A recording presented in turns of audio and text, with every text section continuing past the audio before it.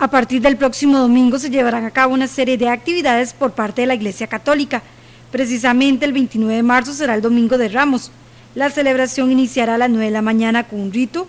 15 minutos después será la procesión desde el Templo del Calvario hasta la Catedral, donde posteriormente habrá una Eucaristía.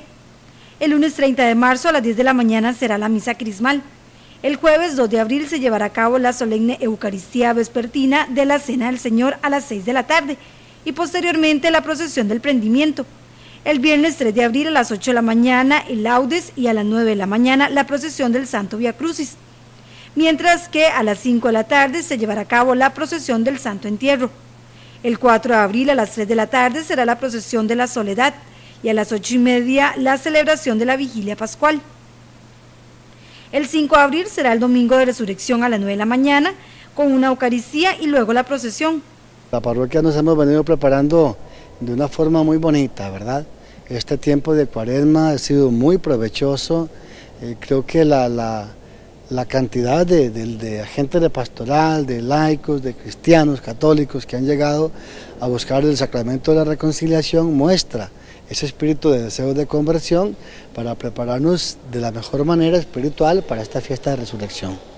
El cura párroco dijo que esta es una época importante para reflexionar. Creo que un poquito la catequesis que hemos venido trayendo en las, las Eucaristías, en las formaciones, en todo esto va en esa línea en esa línea no es simplemente confesarme porque es cuaresma, no, no, no, no es simplemente venir a participar del Domingo de Ramos o, del de Viernes Santo, sino que cuánto significa eso, cuánto tiene que marcar en mi vida y transformarme como cristiano.